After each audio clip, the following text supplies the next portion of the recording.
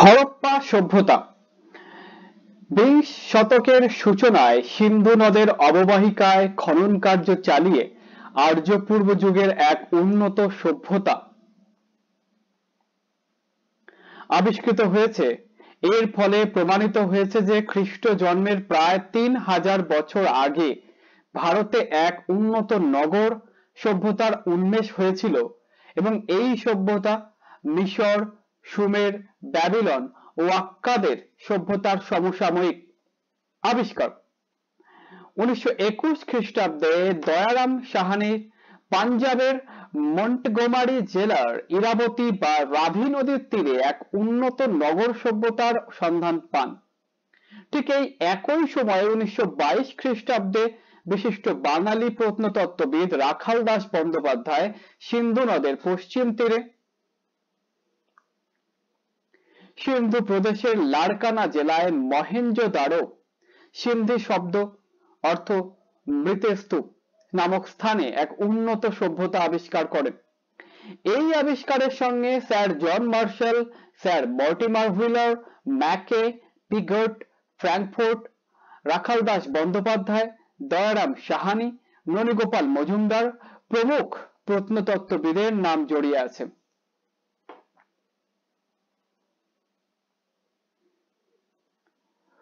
হরপ্পা সভ্যতা, সিস্তান বন্ডিগড় আফগানিস্তান, পাকিস্তান, মহেঞ্জোদারো, মো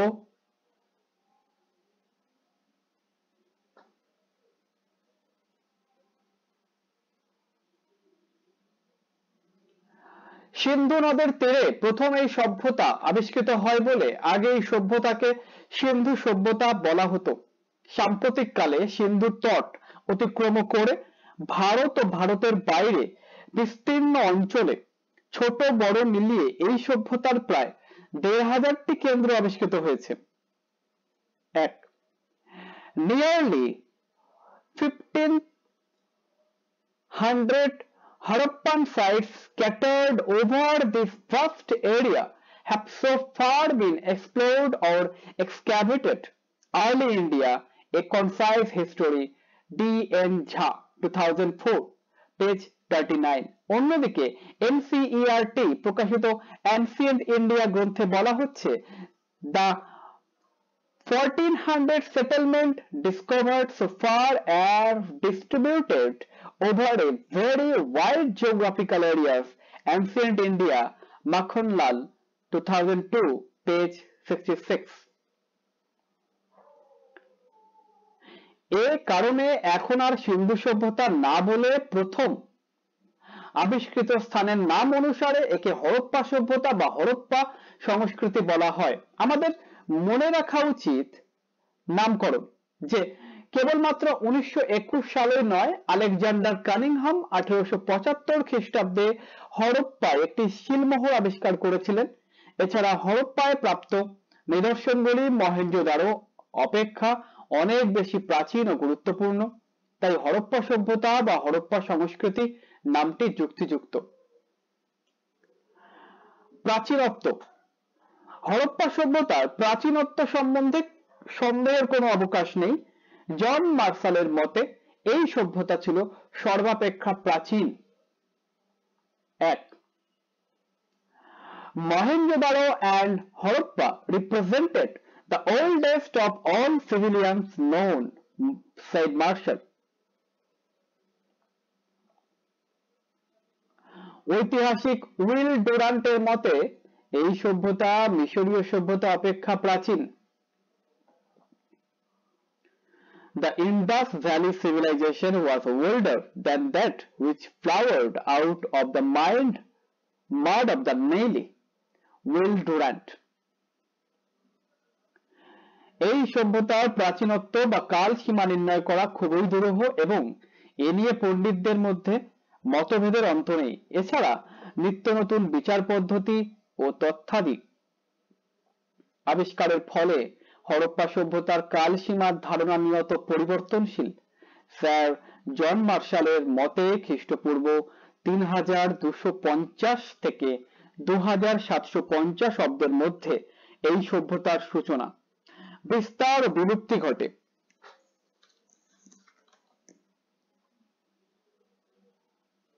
বর্তমানে radio carbon fourteen পরীক্ষার মাধ্যমে হরপ্পা সভ্যতার কাল সীমা। খ্রিস্টপূর্বাব্দ, তেইশশো থেকে খ্রিস্টপূর্বাব্দ, সতেরোশো পঞ্চাশের মধ্যে স্থিরীকৃত হয়েছে। অতি সম্প্রতি ডেন্ডোক্রেনোলজি নামক পরীক্ষা পদ্ধতির মাধ্যমে এর কালসীমা দুদিকেই পিছিয়ে দেওয়ার প্রবণতা দেখা দিয়েছে। যাই হোক, আপাতত আমরা হরপ্পা সভ্যতার কালসীমা হিসেবে খ্রিস্টপূর্ব তিন হাজার থেকে খ্রিস্টপূর্ব দেড় হাজার অব্দকেই মেনে নিয়েছি। স্রষ্টা। হরপ্পা সভ্যতার স্রষ্টা কারা? এ নিয়েও পণ্ডিতদের মধ্যে প্রবল মতপার্থক্য আছে। এক, সিন্ধু উপত্যকায় যেসব নরকঙ্কাল পাওয়া গেছে সেগুলির নৃতাত্ত্বিক পরীক্ষা করে পণ্ডিতরা সেখানে চারটি জাতিগোষ্ঠীর মানুষের সন্ধান পেয়েছেন। সেগুলি হলো প্রোটো অস্ট্রোলয়েড, ভূমধ্য সাগরীয়, অ্যালপাইন ও মঙ্গোলীয়। এই নরকঙ্কালগুলি সংখ্যায় এত অল্প যে এর দ্বারা কোনো সিদ্ধান্তে উপনীত হওয়া সম্ভব নয়। দুই, এছাড়াও পণ্ডিতরা আরও কিছু পরীক্ষা নিরীক্ষা চালিয়েছেন। ক, অনেকের মতে আর্যরা সিন্ধু সভ্যতার স্রষ্টা। খ, অনেকে আবার এই সম্পর্কে দ্রাবিড়দের কথা বলে থাকেন। এইসব মতবাদগুলি সবগুলির পক্ষে কিছু যুক্তি থাকলেও বিপক্ষেও বলার মতো অনেক কিছু আছে। সুতরাং এই মতগুলির কোনোটি আজ সর্বজন গ্রাহ্য নয়। সিন্ধু লিপির পাঠোদ্ধার না হওয়া পর্যন্ত কোনো স্থির সিদ্ধান্তে পৌঁছানো সম্ভব নয়। তবে অধ্যাপক ব্যাসন ও কে এম পানিক্কর মনে করেন যে এই সভ্যতা ছিল সম্পূর্ণ দেশজ এবং তা ভারতীয়দের শ্রেষ্ঠ। হরপ্পা সভ্যতার বৈশিষ্ট্য। প্রাগৈতিহাসিক ও তাম্রপ্রস্তর যুগের সভ্যতা। এক, সমসাময়িক যুগে মিশর বা মেসোপটেমিয়াতে যে সভ্যতার উন্মেষ হয়েছিল, প্যাপিরাস, পোড়ামাটি ও পাথরের বুকে তার লিখিত বিবরণ পাওয়া যায়। পণ্ডিতরা সেগুলি পাঠ করে তার ইতিহাস রচনা করেছেন।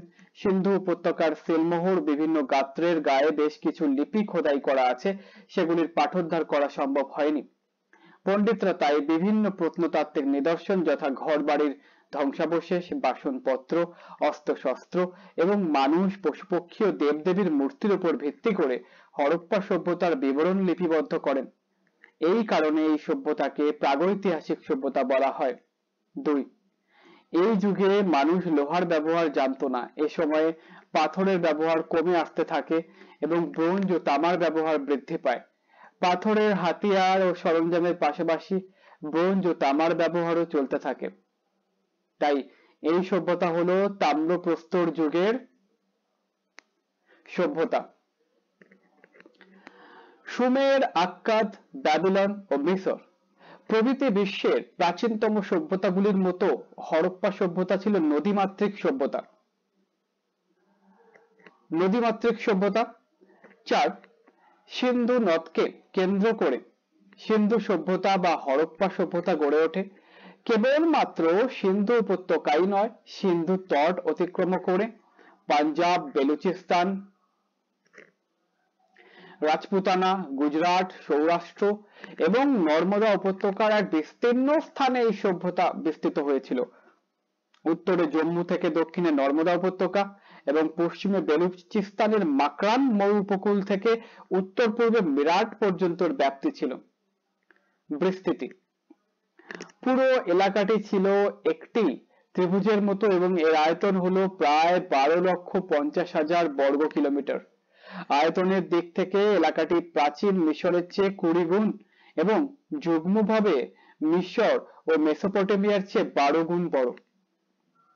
এটি হলো প্রাচীন বিশ্বের বৃহত্তম সভ্যতা। পাঁচ, বর্তমান হরপ্পা সভ্যতার প্রায় চোদ্দশোটি কেন্দ্র আবিষ্কৃত হয়েছে এবং এগুলির মধ্যে বেশ কয়েকটি কেন্দ্র শহর নামের অধিকারী। নগর সভ্যতা। নগর কেন্দ্রগুলির মধ্যে সর্বাপেক্ষা উল্লেখযোগ্য হল হরপ্পা ও মহেঞ্জোদারো এই নগরী দুটির মধ্যে দূরত্ব প্রায় চারশো তিরাশি কিলোমিটার। এছাড়া চানহুদারো কোরদেজি রূপার আলমগীরপুর, লোথাল, রংপুর, রোজদি, সুরকোটরা, কালীবঙ্গান, বানওয়ালি প্রভৃতি স্থানে উন্নত নগর জীবনের নিদর্শন আবিষ্কৃত হয়েছে। ছয়, প্রায় তেরো লক্ষ বর্গ কিলোমিটার বিস্তৃত। এই এলাকাটি সর্বত্রই একই ধরনের জীবনযাত্রা ও সংস্কৃতির চিহ্ন আবিষ্কৃত হয়েছে। এই সভ্যতার নগরীগুলির অবস্থানগত দূরত্ব যথেষ্ট, কিন্তু এ সত্ত্বেও নগরীগুলির পরিকল্পনা গঠন রীতি ও জীবনযাত্রার উপকরণে যথেষ্ট মিল আছে। সুতরাং একটি নগর সম্পর্কে আলোচনা করলেই অন্যান্য নগর সম্পর্কে মোটামুটি একটি ধারণা পাওয়া যায়। এখানে মহেন্দ্রদারো শহরটি সম্পর্কে আলোচনা করা যেতে পারে। নগর পরিকল্পনা। মহেন্দ্রদারো শহরটির পশ্চিম দিকে প্রায় চল্লিশ ফুট উঁচু একটি বিশালায়তন ঢিপির উপর। এক, একটি দুর্গ ছিল। এই দুর্গ অঞ্চলে কিছু ঘরবাড়িও আবিষ্কৃত হয়েছে। মনে হয় সেগুলি শাসকদের বাসস্থান। মহেঞ্জোদারো স্নানাগার। দুই, দুর্গ অঞ্চলে সর্বসাধারণের ব্যবহার উপযোগী একটি বিরাট বাঁধানো স্নানাগার আবিষ্কৃত হয়েছে। তার আয়তন দৈর্ঘ্যে একশো আশি ফুট ও প্রস্থে একশো আট ফুট। এর চারিদিক ঘিরে আছে আট ফুট উঁচু ইটের দেওয়াল। এর কেন্দ্রস্থলে আছে একটি জলাশয় যা উনচল্লিশ ফুট লম্বা, তেইশ ফুট চওড়া এবং আট ফুট গভীর। জলাশয়ের নোংরা জল নিকাশ ও তাতে পরিষ্কার জল পূর্ণ করার ব্যবস্থা ছিল। দুর্গ অঞ্চল, দুর্গ, স্নানাগার ও শস্যাগার। ঋতুভেদে জল গরম বা ঠান্ডা করার ব্যবস্থাও ছিল। তিন এরই পাশে ছিল একটি কেন্দ্রীয় শস্যাগার। এর আয়তন ছিল প্রায় ন হাজার বর্গফুট ডক্টর এল ব্যাসম এটিকে রাষ্ট্রীয় ব্যাংকের সঙ্গে তুলনা করেছেন।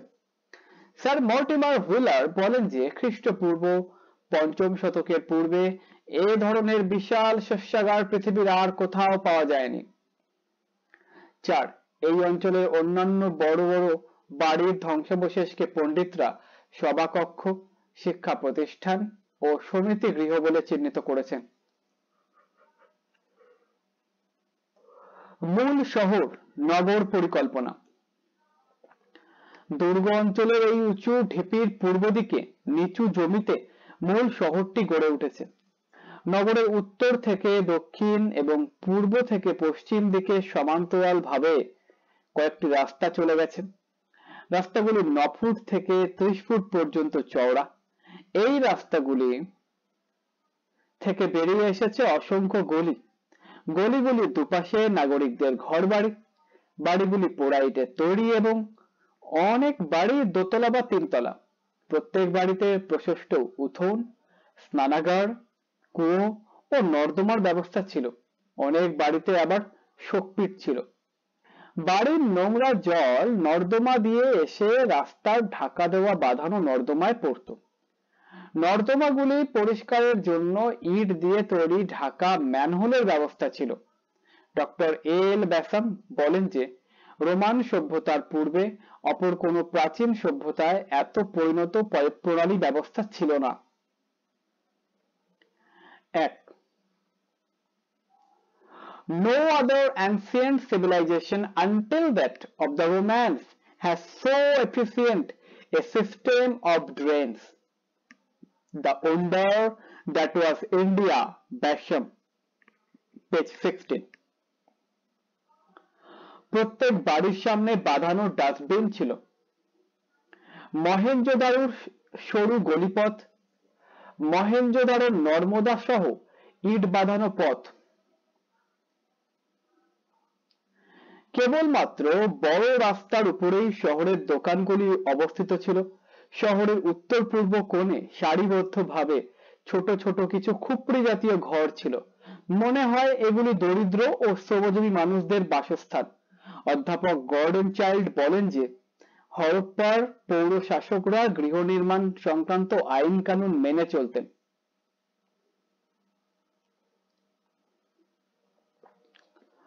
খনন কার্যের ফলে মহেঞ্জোদারোতে সভ্যতার নটি স্তর আবিষ্কৃত হয়েছে, অর্থাৎ ধ্বংসের পর যেখানে আটবার সভ্যতা গড়ে উঠেছিল, ধারাবাহিকতা। হরপ্পায় ছটি স্তর আবিষ্কৃত হয়েছে, এই ছটি বা নটি স্তরে সর্বত্র মানুষের জীবনযাত্রা প্রণালী বা নগর পরিকল্পনা কিন্তু একই ধরনের। কোথাও কোনো পরিবর্তন ঘটেনি, তবে উপরের স্তরগুলিতে নগর কর্তৃপক্ষের অপদার্থতার ছাপ স্পষ্ট। দেখা যাচ্ছে যে উপরের স্তরের ঘরবাড়িগুলি ক্রমশ রাস্তা দখল করছে, গলি ছোট হয়ে আসছে, নর্দমা বুঝে আসছে এ সত্ত্বেও নগর পরিকল্পনা ও জীবনযাত্রার ধারা কিন্তু সর্বত্রই একই রকম। রাজনৈতিক জীবন, এই নগরগুলিতে কি ধরনের শাসন ব্যবস্থা প্রচলিত ছিল সে সম্পর্কে কোনো প্রত্যক্ষ প্রমাণ নেই। এ ব্যাপারে পণ্ডিতরা নানা মতামত প্রকাশ করেছেন। এক, কোন কোন ইউরোপীয় পণ্ডিতের মতে হরপ্পার নগর দুর্গে একজন শাসক বা রাজা বাস করতেন। দুর্গ সংলগ্ন শস্যাগার তার ধন সম্পদের পরিচয় দেয়। দুই, ভারতীয় পণ্ডিত কোশাম্বের মতে এটি নিছক অনুমান মাত্র। এর সপক্ষে কোনো প্রমাণ নেই। তার মতে রাজতন্ত্র বা প্রজাতন্ত্র যাই হোক না কেন, এখানে একটি কেন্দ্রীয় শক্তি ছিল, নতুবা এত উন্নত ও পরিকল্পিত নাগরিক সভ্যতার বিকাশ এখানে সম্ভব হতো না। তিন অনেকের মতে বণিকদের দ্বারা পরিচালিত একটি প্রজাতান্ত্রিক শাসন এখানে প্রতিষ্ঠিত ছিল। চার, স্যার মার্টিমার হুইলারের মতে সিন্ধু অঞ্চল ছিল একটি সাম্রাজ্য এবং এর কেন্দ্রে ছিলেন একজন পুরোহিত বা রাজা। তিনি দৈব অধিকারের জোরে শাসন কার্য পরিচালনা করতেন। পাঁচ এইচ ডি সংখালিয়ার মতে এখানকার কেন্দ্রীয় শাসন ছিল একজন দৃঢ়, উদারনৈতিক, স্বৈর শাসকের হাতে। সামাজিক, অর্থনৈতিক ও ধর্মীয় জীবন। শ্রেণি বিভক্ত সমাজ। শ্রেণি বিভক্ত সমাজের অস্তিত্ব হরপ্পা সভ্যতার অন্যতম বৈশিষ্ট্য। শহরের ঘরবাড়ি ও অন্যান্য উপকরণ দেখে মনে হয় যে সমাজের শাসক সম্প্রদায় ধনী ও ব্যবসায়ী এবং দরিদ্র শ্রমিক ও কারিগরেরা বাস করত। দুর্গ অঞ্চলেই ছিল শাসকদের বাসগৃহ। শহরের দ্বিতল, ত্রিতল গৃহগুলিতে বাস করত ধনী ও মধ্যবিত্ত বণিক সম্প্রদায় এবং খুপড়ি জাতীয় ঘরগুলি ছিল শ্রমজীবী দরিদ্রদের বাসস্থান। পণ্ডিতরা অনুমান করেন যে এই শহরগুলিতে কৃতদাসরাও ছিল। তারা দিনহীন কুটিরে বাস করত এবং ফসল মারাই ভারী বোঝা বহন শহরের জঞ্জাল পরিষ্কার প্রভৃতি কাজ করত। মহেঞ্জোদারো ও হরপ্পা উভয় শহরের উত্তর পূর্ব কোণ, দুর্গ প্রাকার ও শস্যাগারের কাছাকাছি স্থান সমূহে খুপড়ি জাতীয় ঘরগুলির অস্তিত্ব শহরে কৃতদাস ও দরিদ্র শ্রমজীবীদের উপস্থিতি প্রমাণ করে। কালীবঙ্গাল ও লোথালে এ ধরনের কোনো খুপড়ি মেলেনি বলে পণ্ডিতেরা মনে করেন যে এই শহর দুটির শাসকরা হরপ্পা মহেঞ্জোদারোর শাসকবর্গ অপেক্ষা উদার ছিলেন। এই সভ্যতার নগর কেন্দ্রিক হলেও তার মূল ভিত্তি ছিল কৃষি, খাদ্য, গৃহপালিত পশু ও পোশাক পরিচ্ছদ। এখানকার অধিবাসীরা গম জব বার্লি, ধান, ফলমূল, তিল, মটর, রাই, খেজুর, বাদাম, দুধ, মুরগি ও পশুর মাংস এবং মাছ খাদ্যদ্রব্য হিসেবে ব্যবহার করত। গৃহপালিত জন্তুর মধ্যে উল্লেখযোগ্য ছিল গরু, মহিষ, ভেড়া, হাতি, শুকর ও ছাগল। বেলুচিস্তানের মাটির নিচে অতি গভীরে ঘোড়ার চিহ্ন মিললেও ঘোড়া কিন্তু সেদিন পোষ মানেনি। সিন্ধুবাসী সুতি ও পশমের বস্ত্র ব্যবহার করত। তারা দেহের ঊর্ধ্বাংশ ও নিম্নাঙ্গ দুই খণ্ড বস্ত্রের দ্বারা আবৃত করত। নারী পুরুষ উভয়েই লম্বা চুল রাখত। মেয়েরা সোনা ও রূপোর ফিতে দিয়ে নানা ধরনের খোপা করত। তারা নানা ধরনের সুগন্ধি, প্রসাধন সামগ্রী এবং তামা, ব্রোঞ্জ, সোনা, রূপা ও পাথরের তৈরি নানা ধরনের ও নানা আকারের হার কানের দুল, চুড়ি, মল, কোমর বন্ধ ও মালা ব্যবহার করত। সিন্ধুবাসীরা বিভিন্ন শিল্পকর্মে দক্ষ ছিল। এখানে পাথর, মাটি, তামা, সীসা ও ব্রোঞ্জের তৈরি বাসনপত্র ও গৃহস্থালীর নানা সরঞ্জাম আবিষ্কৃত হয়েছে। তামা, ব্রোঞ্জ ও পাথরের তৈরি কুঠার বর্ষা তেল, ধনুক মুসল প্রভৃতি অস্ত্র তারা ব্যবহার করত। এ প্রসঙ্গে স্মরণীয় যে সিন্ধু উপত্যকায় ঢাল, বর্ম শিরস্থান প্রভৃতি আত্মরক্ষামূলক অস্ত্রের কোনো সন্ধান মেলেনি। বস্ত্র বয়ন, হাতির দাঁত, পাথরের কাজ এবং মৃৎশিল্পের ক্ষেত্রেও তারা অসাধারণ উন্নতি করে। গৃহস্থালীর সরঞ্জাম, অস্ত্রশস্ত্র এবং বিভিন্ন শিল্প। শিশুদের খেলনা হিসেবে তৈরি নানা জীবজন্তুর মূর্তি ও চীনামাটির পাত্রে নানা অলঙ্করণ তাদের শিল্প দক্ষতার পরিচয় বহন করে। নৃত্য গীত, পশু শিকার, পাশা খেলা ও রথ চালনা ছিল তাদের অবসর বিনোদনের উপায়। এছাড়া এখানে অলংকার শিল্পী, ইট শিল্পী, ছুতোর মিস্ত্রিরাও বাস করত।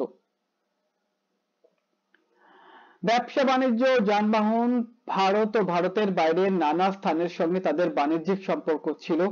দাক্ষিণাত্য থেকে দামি পাথর, রাজপুতানা থেকে তামা কাথিয়াওয়াড় থেকে শঙ্খ এবং বেলুচিস্তান, আফগানিস্তান ও ইরান থেকে সোনা, রূপা, সীসা ও টিন আমদানি হতো। সিন্ধু উপত্যকা থেকে রপ্তানি হতো স্থূল সুতি বস্ত্র তামা, হাতির দাঁত ও হাতির দাঁতের তৈরি নানা জিনিসপত্র। সুতি বস্ত্র ও তুলো ছিল রপ্তানি বাণিজ্যের প্রধান উপকরণ। তখনও মুদ্রার প্রচলন হয়নি। বিনিময় প্রথার মাধ্যমে ব্যবসা বাণিজ্য চলত। কীট সুমের ও মেসোপটেমিয়ার সঙ্গে জলপথ ও স্থলপথে ব্যবসা বাণিজ্য চলত। ব্যবসা বাণিজ্য ও যানবাহন। যানবাহন হিসেবে সিন্ধুবাসী উট, গাধা দু চাকা বিশিষ্ট গরু ও ষাঁড়ের গাড়ি ব্যবহার করত। তাদের মধ্যে সমুদ্র যাত্রাও প্রচলিত ছিল। লোথাল ছিল বিশ্বের প্রাচীনতম বন্দর। শিলমোহর ও লিপি, সিন্ধু উপত্যকায় পোড়ামাটি, তামা, ব্রোঞ্জের তৈরি প্রচুর শিলমোহর আবিষ্কৃত হয়েছে।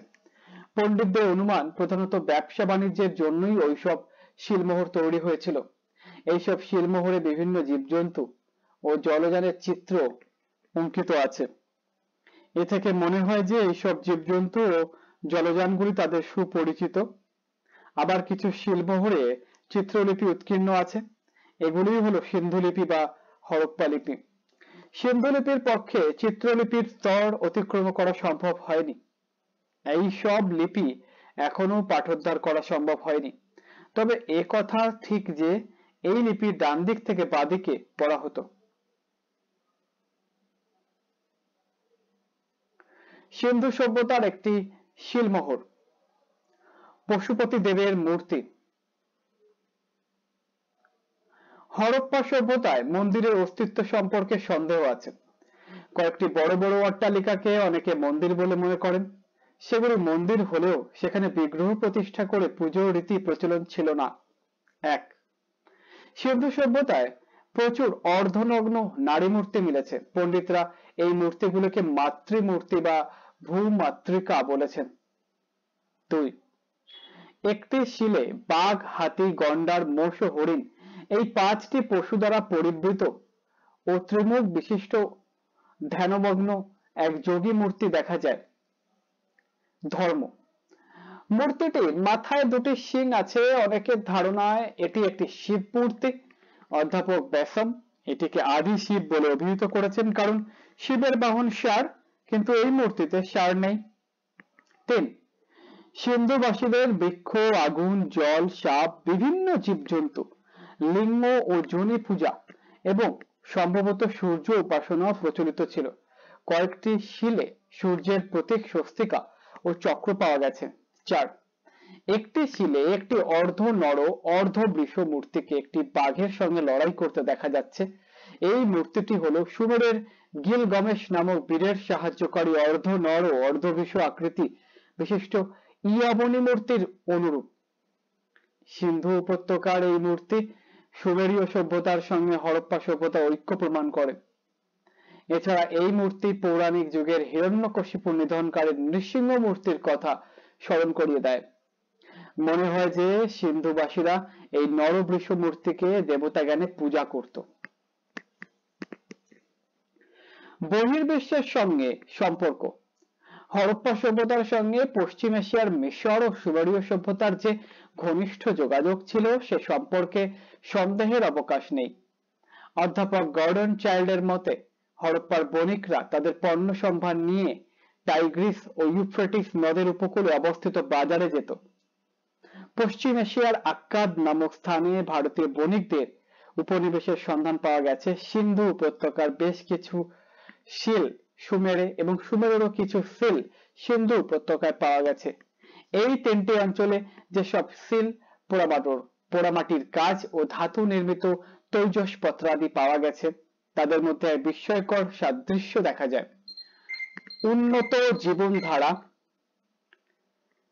জীবনযাত্রা, নগর জীবন, বিভিন্ন ধাতুর ব্যবহার, চিত্রলিপি, মাতৃদেবীর উপাসনা, কেশবিন্যাস পদ্ধতি এবং তিনটি অঞ্চলেই পারস্পরিক স্থানের দ্রব্যাদির অবস্থিতি তাদের মধ্যে ঘনিষ্ঠ যোগাযোগের অস্তিত্ব প্রমাণ করে। হরপ্পা সভ্যতার ধ্বংসের কারণ। আনুমানিক পনেরোশো খ্রিস্টপূর্বাব্দ হরপ্পা সভ্যতা ধ্বংসপ্রাপ্ত হয়। ধ্বংসের কারণ নিয়ে পণ্ডিতদের মধ্যে মতভেদের অন্ত নেই। এক অনেকে মনে করেন যে পূর্বে সিন্ধু উপত্যকায় প্রচুর বৃষ্টিপাত হতো এবং এই অঞ্চলটি ছিল জঙ্গলাকীর্ণ কালক্রমে এই অঞ্চলের জলবায়ুর পরিবর্তন ঘটে এবং এর ফলে বৃষ্টিপাতের পরিমাণ হ্রাস পায় এবং ভূগর্ভস্থ লবণ উপরে উঠে এসে স্থানটিকে মরুভূমিতে পরিণত করে। দুই, স্যার মর্টিমার হুইলার ও অনেকে মনে করেন যে পোড়া প্রচুর ব্যবহার অন্যান্য কারণে এখানে ব্যাপকভাবে বৃক্ষচ্ছেদন শুরু হয় এবং অঞ্চলটি বনশূন্য হয়ে পড়ে। এর ফলে বৃষ্টিপাতের অভাবে এই অঞ্চলের কৃষিকার্যে বিপর্যস্ত হয়ে পড়ে এবং জনসাধারণ স্থান ত্যাগে বাধ্য হয়। তিন ডক্টর এম আর সাহানি ও অন্যান্য অনেকে বলেন যে, বারংবার সিন্ধু নদের বন্যার ফলে সভ্যতাটি ধ্বংসপ্রাপ্ত হয়। মহেঞ্জোদারো নগরীটি যে একাধিকবার বন্যা কবলিত হয়েছিল এবং বন্যা প্রতিরোধের জন্য ব্যবস্থাও গ্রহণ করা হয়েছিল, সে সম্পর্কে কোনো সন্দেহ নেই। চার, এই সভ্যতাটি ধ্বংসের জন্য ভূমিকম্প, অগ্নিকাণ্ড, এমনকি সিন্ধু নদের গতিপথ পরিবর্তনকেও দায়ী করা হয়েছে। পাঁচ, এই সভ্যতার পতনের জন্য অনেকে আবার নগর কর্তৃপক্ষের অপদার্থতা ও নাগরিক আদর্শের অবনতির কথা বলেন। মহেন্দ্র দারুণ নিচের স্তরের নগর পরিকল্পনা ও রক্ষণাবেক্ষণ যত সুন্দর, পরের স্তরগুলিতে তা নয়। উপরের স্তরগুলিতে দেখা যাচ্ছে যে রাস্তা পরিকল্পনা দখল করে বাড়ি তৈরি হচ্ছে। নর্দমা বুঝে আসছে, গলির মধ্যে ইটের পাজা তৈরি হচ্ছে, কিন্তু এগুলির বিরুদ্ধে কোনো ব্যবস্থা গ্রহণ করা হচ্ছে না। এইভাবে ওই সভ্যতা ক্রমে ক্রমে ধ্বংসপ্রাপ্ত হয়। ছয়। বলা হয় যে বিদেশি আর্যদের আক্রমণে এই সভ্যতা ধ্বংসপ্রাপ্ত হয়। মহেঞ্জোদারোতে প্রকাশ্য রাস্তায় কুয়োর ধারে বাড়ির মধ্যে পলায়নরত বহু মানুষের স্তূপীকৃত মৃতদেহ পাওয়া গেছে। এই মৃতদেহগুলি প্রকাশ্য স্থানে পড়ে আছে, কোনো সৎকার হয়নি এবং তাদের মাথার পিছনে ধারালো অস্ত্রের আঘাত। বলা হয় যে বিদেশিদের অতর্কিত আক্রমণের ফলে এই অবস্থা হয়েছে এবং দেবরাজ ইন্দ্রই এই সভ্যতার ধ্বংসকারী। ঋগ্বেদে তাকে পুরন্দর বা দুর্গ ধ্বংসকারী বলা হয়েছে। বলা বাহুল্য, সিন্ধু সভ্যতা ধ্বংসের কোনো কারণই ত্রুটিমুক্ত নয়। আপাতত মনে করা যেতে পারে আর্য আক্রমণই সিন্ধু সভ্যতার ধ্বংসের কারণ, যদিও সকলে সম্পর্কে একমত নন। গুরুত্ব ও অভিনবত্ব। সিন্ধু সভ্যতা আবিষ্কারের ফলে জানা গেছে যে ভারতীয় সভ্যতা সুমের আক্কাদ মিশর প্রভৃতি প্রাচীন সভ্যতার সমসাময়িক। প্রাচীন বিশ্বে আয়তন ও ব্যাপ্তির দিক থেকে হরপ্পা সভ্যতা অদ্বিতীয়। পোড়া ইটের ডাস্টবিন শোকপিট ও প্রয়োগ প্রণালীর ব্যবহারে হরপ্পা সভ্যতা অতুলনীয়। ধানের চাষ ও মুরগি পালনের সূত্রপাত হয় সিন্ধু উপত্যকাতে। উৎকৃষ্ট মানের তুলোর চাষ ও সুতি বস্ত্র উৎপাদনে সিন্ধুবাসীদের কৃতিত্ব ছিল অসাধারণ।